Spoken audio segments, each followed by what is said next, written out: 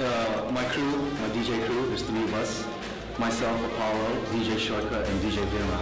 We're a collective called Triple Threat DJs. Can you tell us what makes this event unique? It's a unique event because just more the, the lay, like the lay, way it's laid out and the rounds and everything. Uh, it's all exclusives. It's super quick mixing.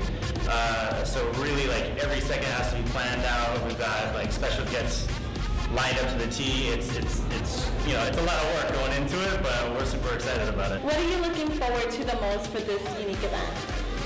Honestly, winning would be great.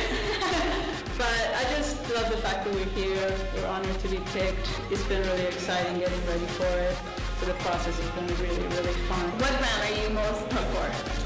I'm looking forward to actually the third round, where we have to play the other crew's genre. Sleeping with the enemy? Yeah, sleeping with the enemy. I'm, I, I like that round a lot. That's, we're gonna have a lot of fun with that one.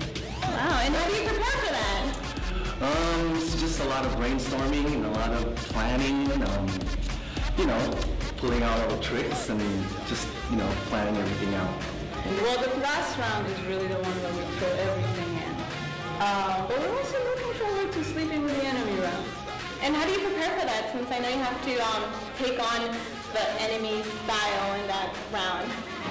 Well, you'll find out.